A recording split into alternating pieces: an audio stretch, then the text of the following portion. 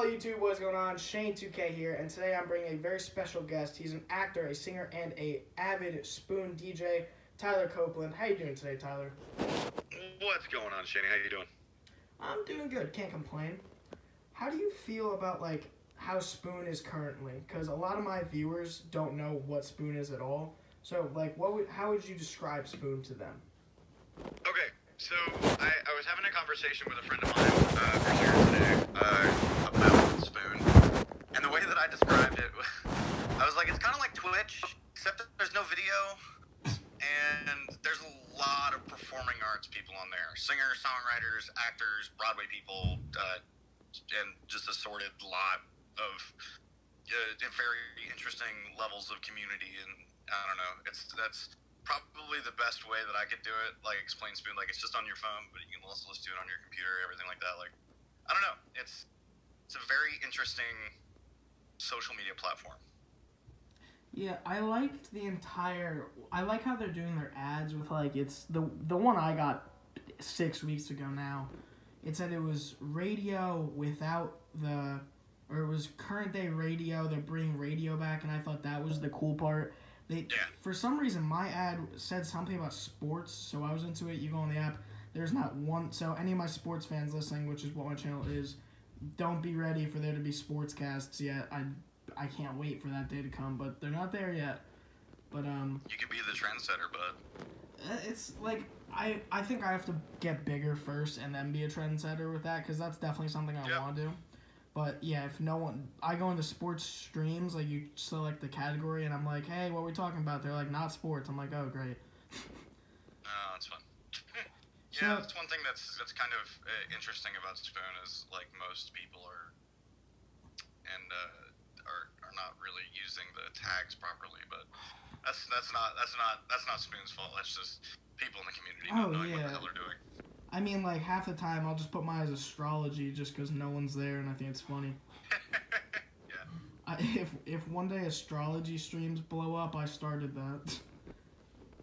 Yeah, that's that's the way to do it, man. Um, but do you think the only reason Spoon's starting to get way bigger? I mean, this is what I think. That's why I made the question. Would be because of quarantine and because none of us have like a regular day to day basis job and I stuff think like so. that.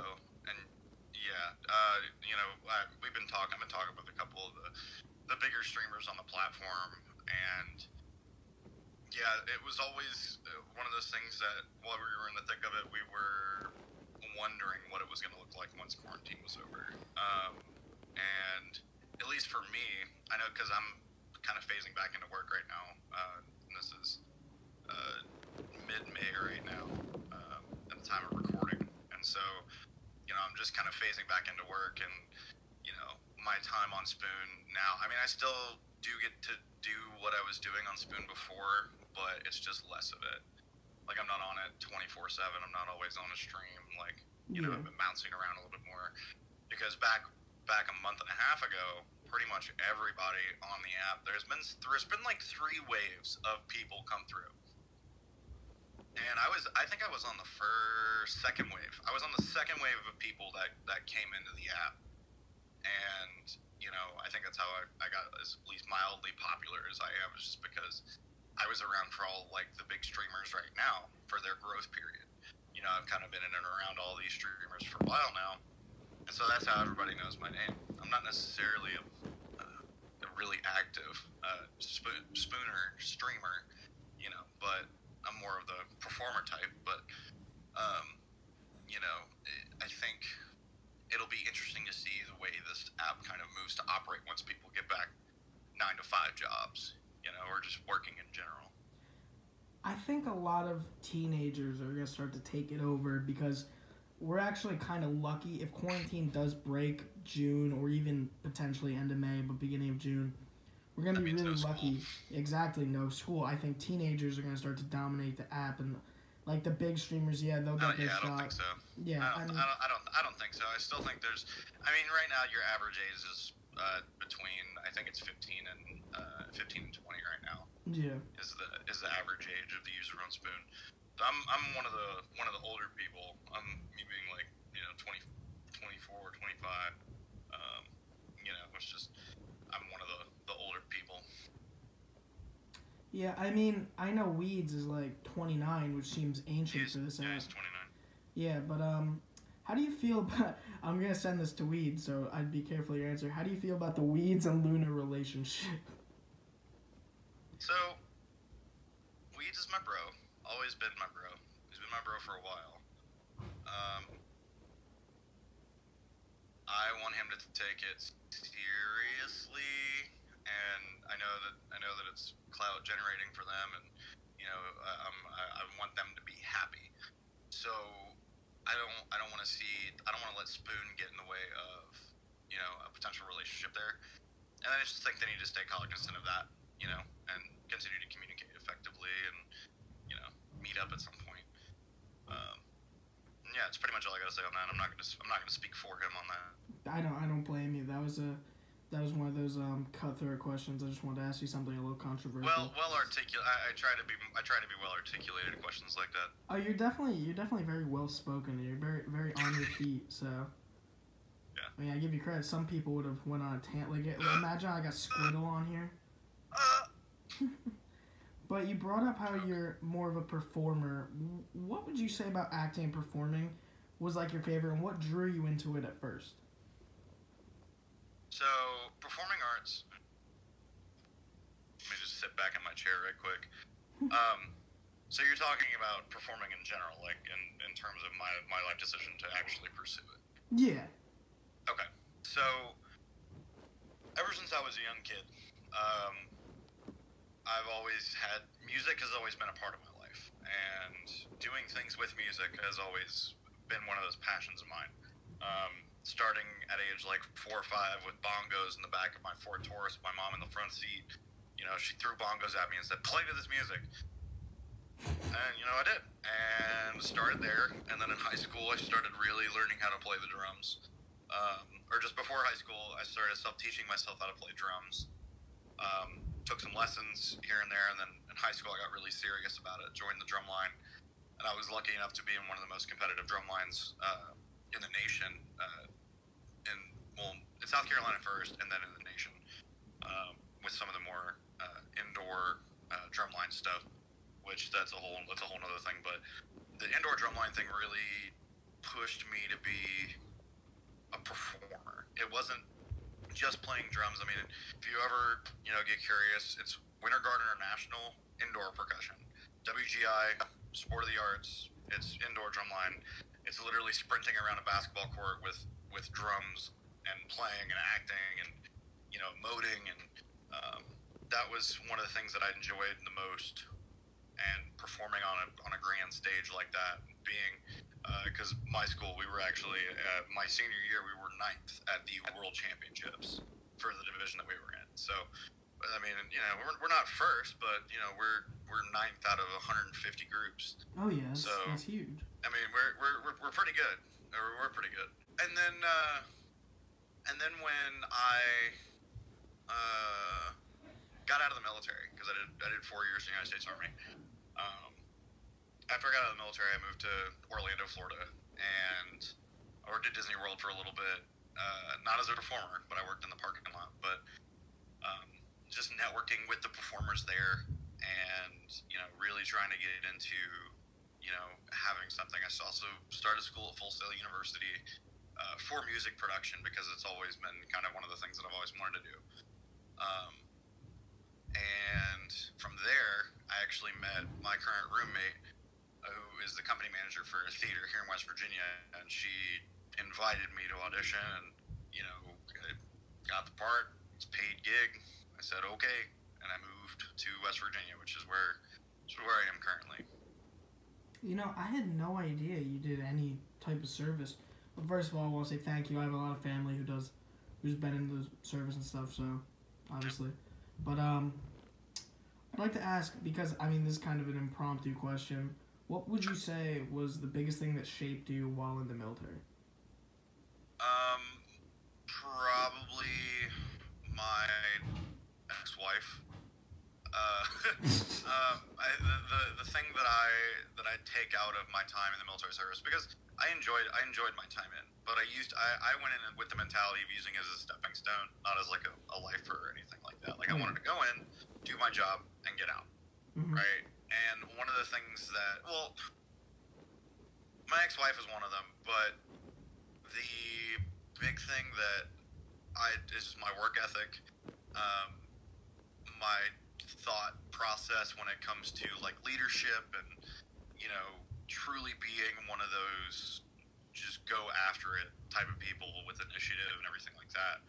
Um, you know, it's it's tran it's transferable to the civilian world. So um, I'd say my ex-wife for what I want relationship-wise, because I mean we, we were together for almost four and a half years uh, Mhm. before we separated, and then when we did, and we finally did decide to get divorced, um, you know, I knew what I know what I want now versus like most kid, most people my age, most men my age are really unsure and are just acting a fool and you know not really not really there. Um, so you, put a lot of miles on when you when you go through stuff like that. Mhm. Um, and that's that's kind of where I am now. I, most people pin me for like 28, 29, uh, just with how I am articulated and you know I carry myself a little bit more professionally than most people in my age group. So you know it's just one of those things that you just put a lot of hair in your chest, and I that's probably the one thing that I appreciate most about my military service. Hmm. I'm lear- I'm learning so much about you. Usually, I just see you in comments of Spoon streams or on the Breakfast Club streams. I, I like this. For not. Yeah. By the way, if you're new to, I mean, if you're coming here because it says Spoon in the title, or you're here from uh, just my subscribers, Spoon is this streaming app. You should all go follow Tyler. He goes by Disney Princess Tyler, Drunk Tyler. But um, I got a couple different names. yeah. Speaking of Breakfast Club, I have to ask. This is not related to Breakfast Club at all. What is your favorite Sure. breakfast food? Mm. I'd have to say, by far, it's got to be hash browns, but not What? like scattered. Oh, okay. It's got to be it's got to be patty hash browns. Okay, I was about to say if it's the scattered ones, they're sure. Ugh. Cause I make cause I make I make those homemade sometimes, and those are just so good. I mean, I can just remember like hash browns from like a school cafeteria. That's Or McDonald's. Ugh. yes, God, yeah. Don't even, get me, don't even get me started on that. we'll be here. We'll be here for an hour talking about food. My longest interview is 45 minutes, and it wasn't meant to go that long. I told him it was gonna be 20 minutes, so. I mean, it happens. Yeah. So I have three more questions. So let's just say you're falling off a cliff, or no, yeah, you're falling off a cliff, but you're surviving. Like, like you find a spot to stay and you're fine. But weeds in Dakota are tangling. Who, Okay. Which one are you gonna save? You can only save one. Hmm. Hmm. It's a good That's one. That's interesting. It's a, It's a good one. Yeah, that's a that's a brain that's a brain melter for sure. Um, because they both they both mean, I would say about as equally. Um,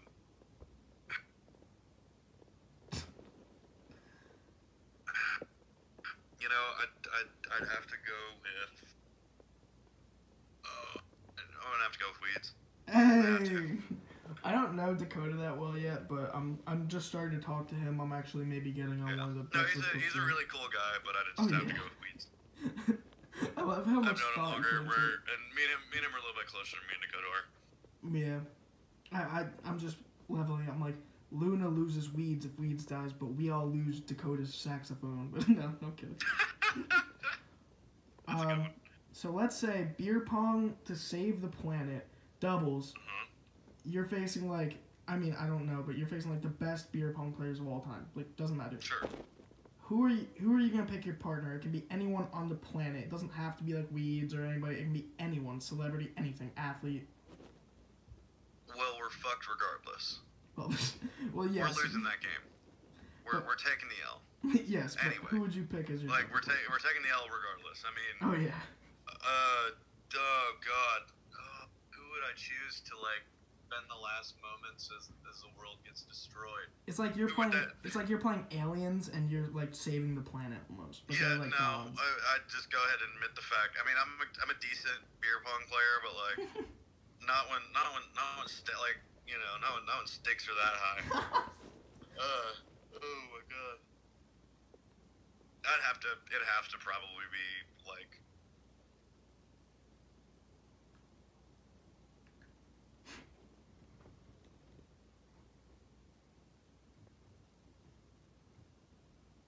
I'd want it to be weeds. You want it to be weeds. like I, I like I really don't. I, we're taking the L. We're taking the L regardless. We're getting beat, but we're, we'll try.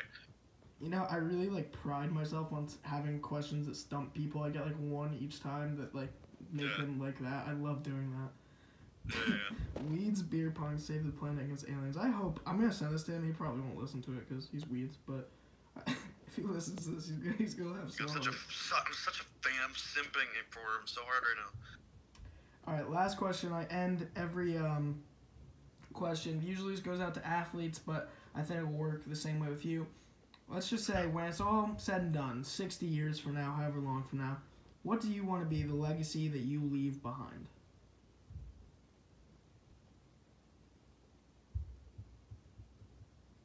So, for me, and this is always I've always kind of thought this way since I was probably probably probably about your age.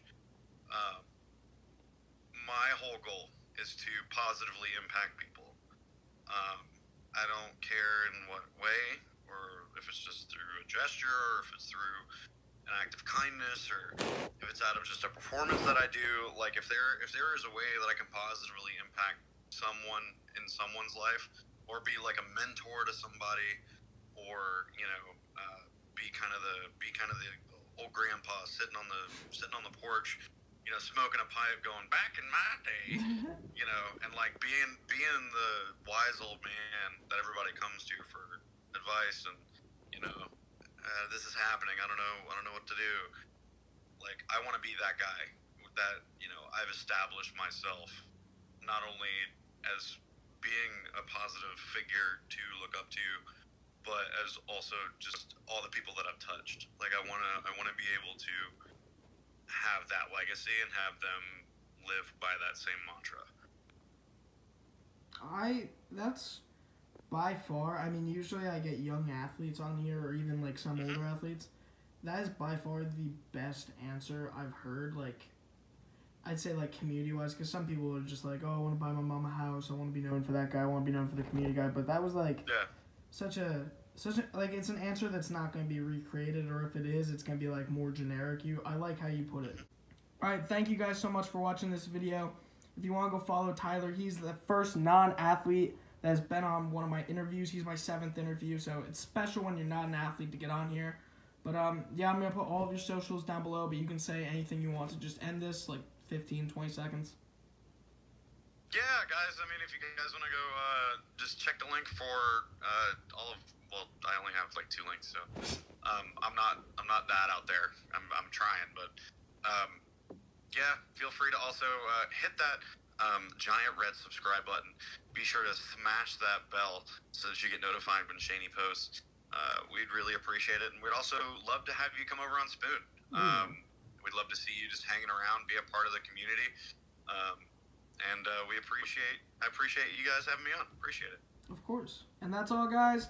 Wash your hands. Stay safe. Peace out.